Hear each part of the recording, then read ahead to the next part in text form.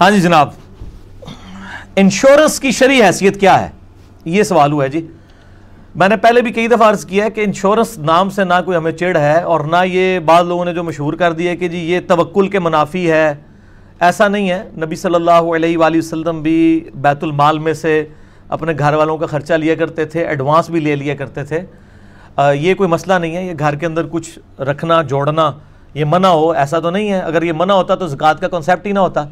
سیدنا عثمان غنی رضی اللہ تعالیٰ عنہ نے جو غزوہ تبوک کے موقع پہ سات سو اونٹ دیے ہیں تو وہ جوڑے ہوئے تھے تو دیے نا؟ آج کا اربوں روپے بنتا ہے۔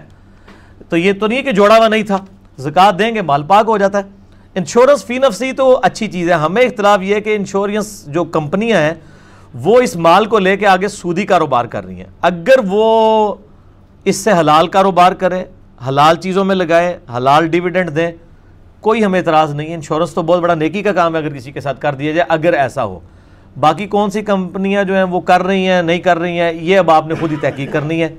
جو کمپنی آپ کو اینول رپورٹ دے، پورا بتائے کہ ہم نے کہاں پہ کس مد میں خرچہ کیا، اس میں سے کیا پروفٹ ہوا، وہ حلال تھا یا حرام تھا، حلال جگہ پہ لگا یا حرام جگہ پہ، یہ یہ چیزیں۔ اگر انہوں نے کمپنیوں نے آگے سودی قرضے دیے ہوئے ہیں اور اس سود میں سے کما کے کچھ ڈیویڈنڈ سود میں سے آپ کو دے رہے ہیں، کچھ اپنے پاس تو آپ پھر خود ہی سمجھ جائیں کہ وہ حرام ہے۔ تو اس لیے ہر چیز کے اوپر جو ہے وہ نٹی گٹیس میں نہیں جانا ہوتا۔ اس طرح وہ بعض لوگ پوچھ رہے تھے جی پی ایف کا سود۔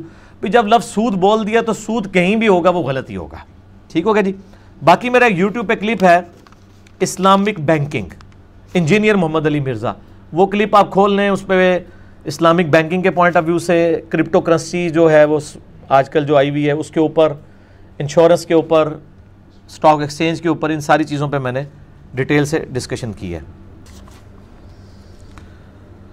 ابراڈ سے آئی ہوئی انشورڈ چیزیں استعمال کر سکتے ہیں۔ جب آپ آ ہی گئی ہیں تو اب آپ استعمال کریں۔ اس میں کیا مسئلہ ہے؟ تو وہ تو آپ منگوانے سے پہلے آپ کو سوچنا چاہیے تھا نا کہ کیا ہے۔